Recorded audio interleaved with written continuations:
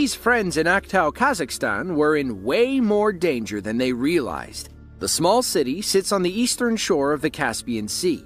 This group was likely on the city's eastern outskirts when a thunderstorm moved overhead. That's when they began noticing a strange phenomenon.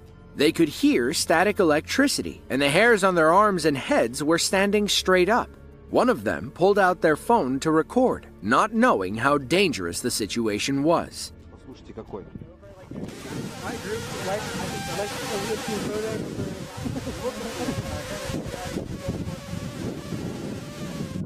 Вау, слышали? Вот это да, уже током бьет. Посмотрите на их волосы. Посмотрите на их волосы. Посмотрите, все электризовано. А, Как так? Слушайте.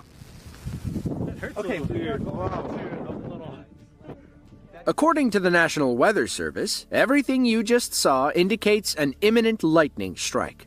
This group didn't realize it, but they rolled the dice by standing straight up.